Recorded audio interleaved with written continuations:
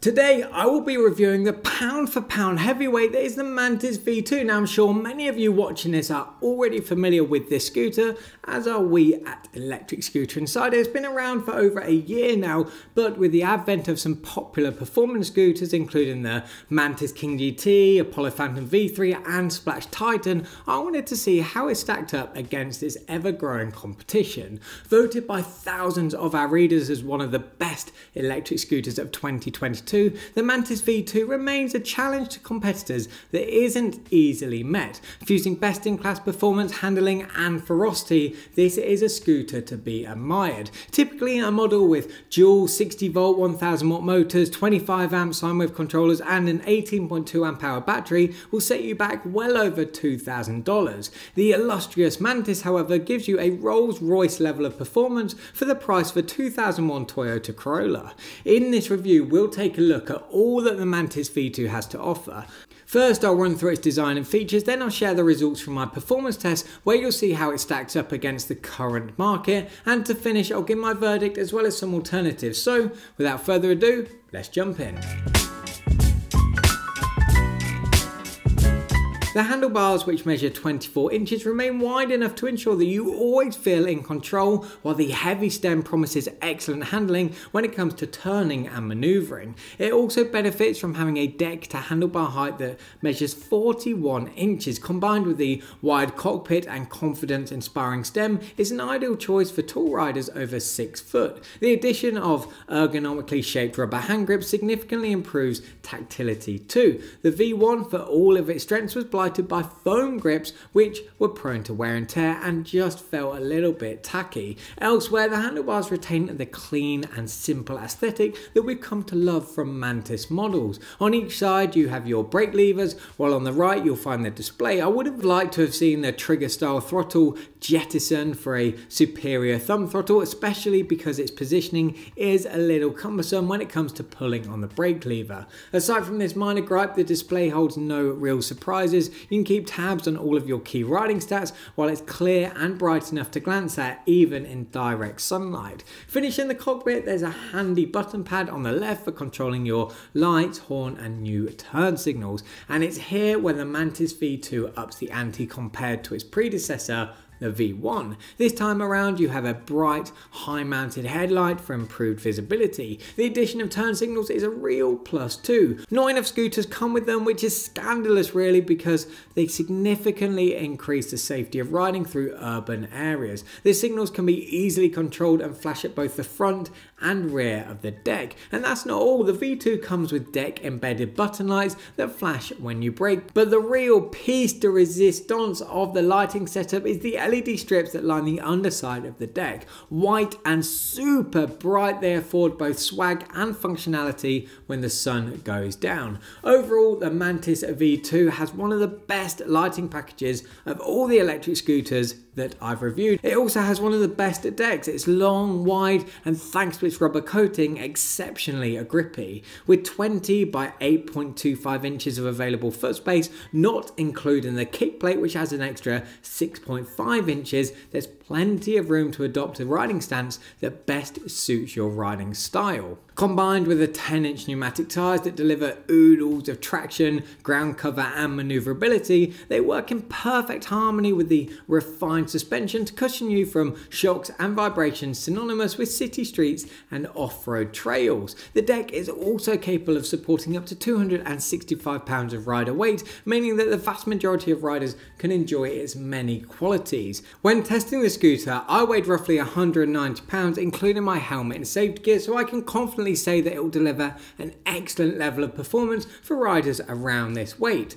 Based on my test, however, I can see the Mantis performing admirably for riders up to 230 pounds. This is a testament to the scooter's durability. The sleek yet rugged aluminium frame and stem could withstand a hurricane, but this doesn't come at the cost of nimbleness. While the V2 shares an almost identical build to the V1, the new IPX5 water resistance rating, extended rear fender, and improved headlight add to an already reliable scooter that cuts no corners when it comes to ensuring great build quality. The cable management meanwhile is satisfyingly inconspicuous with with all the wiring threaded neatly out of sight. In short, it delivers the durability required for everyday riding. Now, the only area of the V2's design that's subpar to the rest of its build is the clunky collar clamp folding mechanism. Compared to the likes of the Mantis King GT's simple locking lever, it's fairly cumbersome and requires you to tighten one clamp first before tightening the other and so on until you achieve an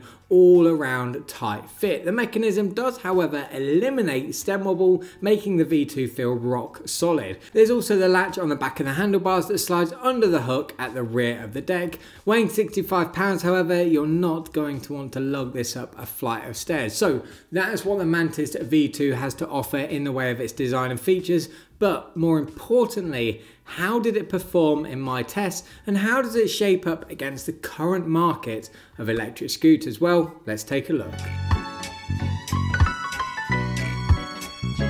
Equipped with dual 60 volt 1000 watt motors, this wolf in sheep's clothing can muster a peak power output of 3000 watts and a top speed of 40 miles per hour. This performance leaves all other electric scooters in the sub $1,750 class choking on dust. What sets the Mantis apart though is that it remains extremely stable when riding fast. Thanks to the evenly distributed weight of the frame, everything from the stem to the chassis feels balanced. Paired with its well damped suspension, vibrations are softened and the tyres maintain traction at all times to make it feel secure underfoot. Digging deeper, I applied a $500 bracket around the V2's price tag and it revealed seven comparable scooters, including popular models from Varla, Apollo, and Inokim, and there was just one, which was the Varla Eagle one, that matched the Mantis for top speed. However, the Varla only has dual 52 volt 1000 watt motors while the Mantis sports more powerful 60 volt 1000 watt motors. The result is a 33% slower acceleration rate meaning that the Mantis is a true winner. Now when it comes to acceleration it explodes out of the blocks. It can hit 50 miles per hour in a whiplashing 2.1 seconds and 25 miles per hour in just 4.7. This wipes the floor with all the scooters in its price class. Against the models that are recommend as alternatives, which include the Splach Titan and Mantis King GT. It beats the former, but as to be expected, is slightly slower off the mark than its big bro. And this is because the Mantis King GT has bigger 60 volt 1100 watt motors and more powerful 30 amp sine wave controllers. Nevertheless, the Mantis V2 still has a huge amounts of power, and with that comes extraordinarily good hill climbing. It all comes down to the alchemy that exists between those 1000 watt motors. The V2 has enough torque to climb steep slopes, leaving you with a package purpose made for those San Francisco peaks. But of course, riding fast up and down hills requires strong brakes. Equipped with Zoom hydraulic discs, you'll come to a complete stop from 15 miles per hour in an impressive 2 meters. To put this into perspective, it promises a stopping distance that is shorter than the rest of the scooters scooters in its price class, while it also outperforms the scooters that I recommend as alternatives, where the Mantis King GT took 2.1 meters to stop and the Splach Titan took 2.4 meters. Next up, let's take a look at range. But before we dive into the results from my range test, it's important to note that the Mantis V2 comes in two variants. One with an 18.2 amp hour battery and the other with 24.5 amp hours. The 18.2 amp hour battery has a maximum range of 33 miles when ridden slowly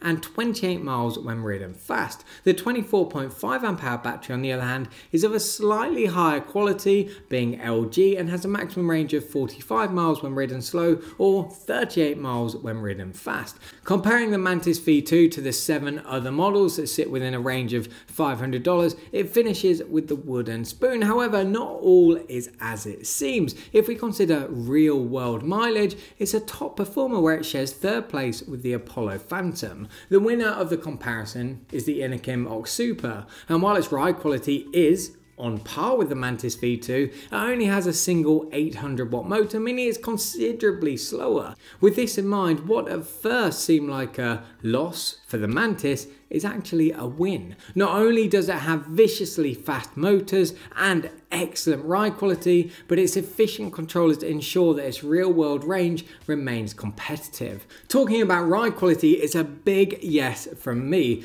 I've already praised the juicy 10 inch tyres that produce excellent traction and shock absorbing proficiencies, while the wide handlebars, heavy stem, and large deck are a noteworthy supporting cast. But the stars of the show here are the swing arm suspension, well balanced frame, and their newly introduced sine wave controllers. Thanks to the well calibrated damping of the springs, they aren't bouncy, meaning they strike the perfect shock absorbing profile. Using a scale of 1 to 10, where 1 is extremely stiff and 10 is extremely soft, I scored the Mantis V2 suspension an 8 6.5. There's also the 6.25 inches of ground clearance, which not only gives the scooter enough of a gap to roll over challenging obstacles such as curbs, tree roots, and rocky outcrops, but allows for the swing arms to pivot for a deep amount of travel. The controllers are huge leap forward too, especially when compared to the square wave ones found on the previous model. Accelerating through the gears now feels silky smooth instead of jittery and controlled instead of erratic. It's like rolling a dimmer dial and gradually increasing the brightness of a light, whereas previously all you had was a simple on-off switch. Combined with the even distribution of weight across the frame, the Mantis V2 is one of the only scooters in its class that has a perfect equilibrium. As a result, it achieves best in class ride quality. So, is the Mantis V2 a good value for money and is it still a competitive scooter? Well, that's like asking if water is wet or if fire is hot the combination of performance and features stand the test of time and belong to a scooter that should cost you far more than its affordable price tag. And while its price may have played a large part in its exploding popularity, its suitability for all types of terrain is also a key. For admirers of the Mantis range, the V2 represents an excellent choice.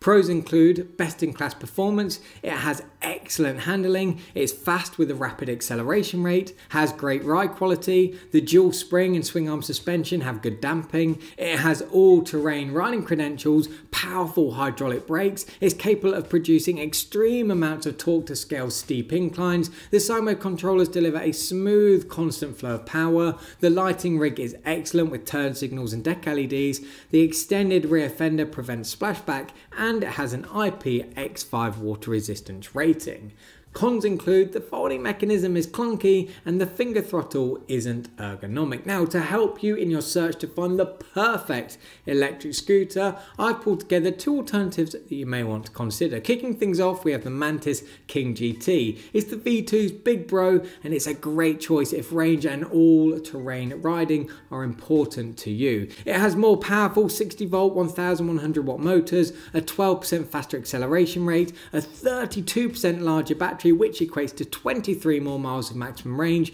superior adjustable hydraulic suspension, and terrain agnostic tyres. It also has a far more efficient one-click folding mechanism, an ergonomic thumb throttle, and an advanced TFT display, but it costs considerably more and is nine pounds heavier. Next, we have the Splach Titan. The best way to think about this model is like a budget version of the Mantis V2. It's a lot cheaper, has terrain agnostic tyres and a more efficient folding mechanism, but it has less powerful 52 volt 1000 watt motors, a 12% slower acceleration rate, the throttle response isn't as smooth, the deck is significantly shorter, and it supports 45 pounds less rider weight. Plus, it doesn't have turn signals. Now, to find out more about any of these alternatives or the Mantis V2, click on the links in the description. If you found value in this video, please sub to the channel. Thanks for watching, and I'll see you next time.